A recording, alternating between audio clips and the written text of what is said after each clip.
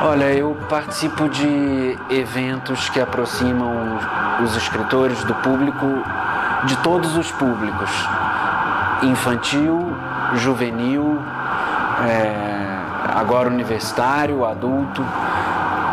Eu acho que faz parte da, da, da, profissão, faz parte da, da missão social do escritor, se a gente puder falar assim. É, ter essa, esse, essa aproximação com o seu leitor e, e é, ver como, como as pessoas reagem ao que ele escreve e as coisas que ele pensa a respeito dos livros que escreveu, que vão mudando também. Os livros podem ficar iguais, mas o que você pensa a respeito deles não necessariamente fica.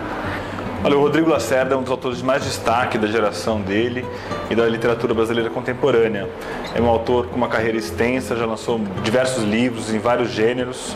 Ele é um autor premiado desde seu primeiro livro, chamado Mistério do Leão Rampante, que foi lançado nos anos 90 e que já conquistou o prêmio Jabuti naquele ano.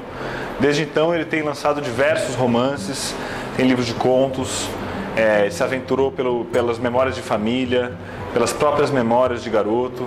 Então é um grande autor que, que, que faz da sua própria vida uma matéria literária de primeira qualidade.